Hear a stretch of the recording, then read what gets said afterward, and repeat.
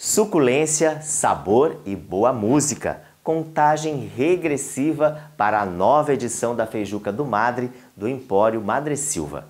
Este ano, no dia 20 de maio, em novo local, a Cervejaria Bergren, em Nova Odessa. Então, a Feijuca esse ano está em novo local é, e eu acho que isso vai trazer um grande diferencial, porque é, ela vai acontecer lá na Cervejaria Bergren e que é um local muito bacana, possibilita uma experiência super legal para os convidados, né? O fato de estarem dentro do, de uma fábrica de cervejas artesanais, especiais, né?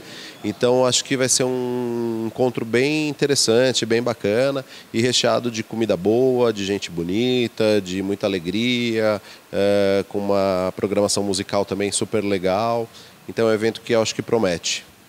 O mesmo sabor e a tradição da feijoada aqui tem um sabor e tempero especial. É, eu acho que já ficou um evento tradicional assim, né, no calendário da nossa região. Nossa feijoada é bem apreciada, assim, é uma feijoada realmente de qualidade. A gente vai ter uma mesa de petiscos super variada, que também é uma tradição da, desse nosso evento.